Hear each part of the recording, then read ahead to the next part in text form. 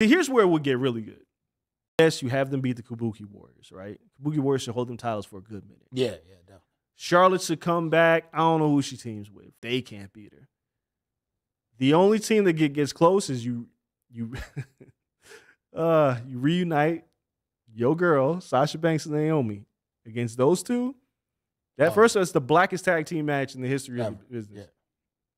But that feels big.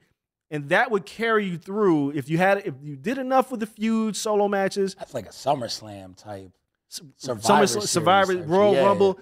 It'll feel big. Right. And then if they would have dropped the titles to them and then they broke up and one of them won, won the Royal Rumble and then you had a few for this, that would get you through. Yeah.